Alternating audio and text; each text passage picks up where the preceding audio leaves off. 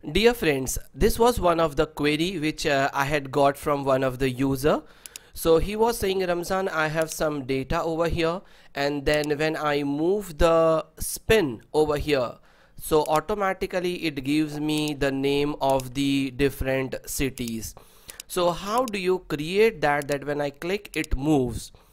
So the practical use of this comes over here which is in a yearly data. And over here you have a data of from 1990 to 2020 it's a big database uh, of year of quarterly sales. And here is the actually example. So if you wanted to present this data in the chart it's not possible uh, very easily. So here we use this spin button. So when I click on it and here you will see all the years are changing. So I'm getting each year each quarter data. So and automatically when I'm clicking on this here year is also changing. And uh, the data is pulled from here in the chart and it shows. So the practical use of this is over here but uh, as uh, he had exclusively requested for this example so what I will do in next few minutes I will show you how do we do that. So I go to my spin uh, sheet over here and uh, the first step is I will go to the developer. This is a developer tab where you will get the spin button okay? So to get this developer tab you have to go to the file.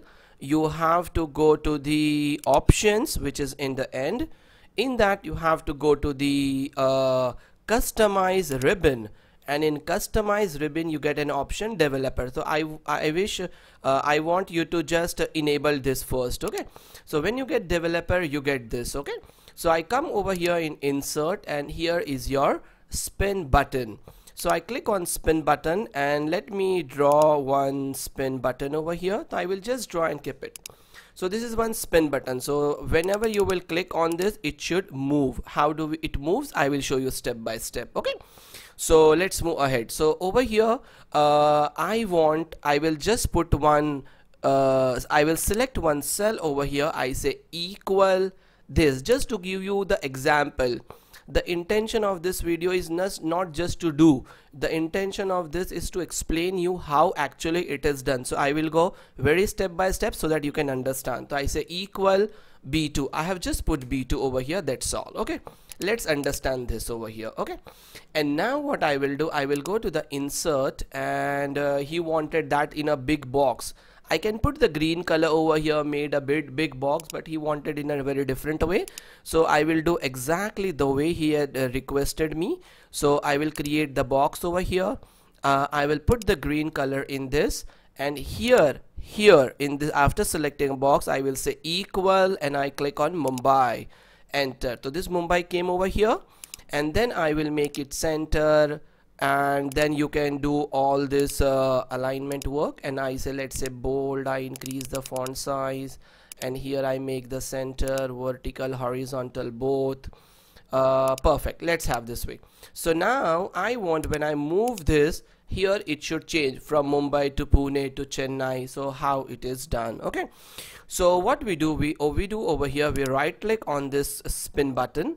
And over here you get one option format control in format control you will get this. Now here you see current value 2 because I have pressed this two times so it is current value 2 so ignore this. Here in minimum value you say 1 and in maximum value you say 5 or if you have a big database you can just see the last number and you can put and you can put 3 4 more extra should not be a problem. And I will put my cursor over here cell link. Which cell you want to link. It means when I click on this which cell should update. So when I click on this it will update the number 1 2 3 4 so let's say it should update this one. And I just say okay done. Now you see it's not yet done. Huh? you have to wait for a few more seconds. So I, can, I click see 2 3 4 5 it's happening over here. So now I will say equal and I will remove this and you will use your regular formula. Equal VLOOKUP search this two comma where you search in this column but I wanted to pull the B column so you will select both the column comma 2 comma 0 why I have put this 2 I hope you know the VLOOKUP so 2 is the column number which I wish to pull. Enter that's all.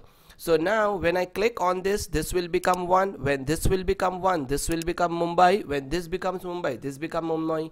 So I click on it and here it goes. Perfect got it so this way basically it is done dear okay? So now after that you can select this and you can say over here hide or you can see my another video. Instead of this I have explained another way. So I say control 1 I go to the custom and over here I say three times semicolon. Semicolon semicolon semicolon. That's all. And you say okay.